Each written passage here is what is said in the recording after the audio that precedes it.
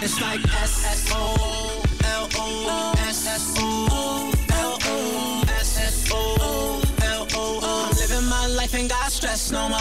I'm putting on my shades to cover up my eyes. I'm jumping in my ride, I'm heading out tonight. I'm solo, I'm riding solo, I'm riding solo, I'm riding solo, solo. I'm feeling like a star,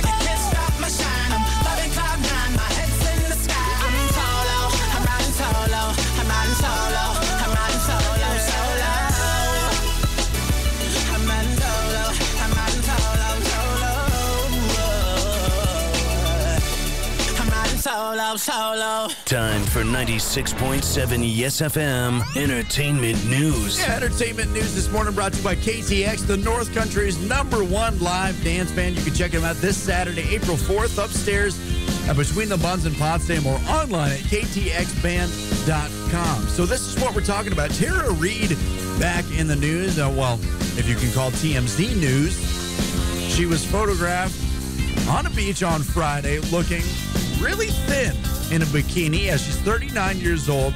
And she says well you know she's a celebrity. She's always had a, a, a, a been thin for the most part. She says that she just has a really tiny frame uh, but the pictures are worrying some people. She looks uh, kind of rail thin actually. I, I don't know if i would go so far as to say sickly uh, but the pictures have been alarming some people. You can see them now at the YesFM Facebook page.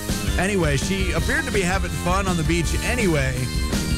So I don't know. We'll see where things go for Tara Reid.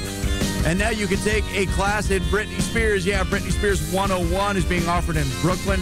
Two friends, Rachel Goldberg and uh, Suri Ratnagana, have started Britney Spears 101, which is specifically designed around the life and times of the pop star. I wonder if they'll touch on the whole shaved head business, you know.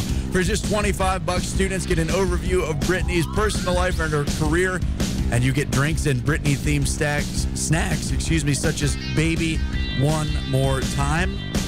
Get it? You know, crackers? Yeah. I think I'll skip it. See what you just heard or any part of the Mers in the Morning Show now. Get the link at yesfm.com for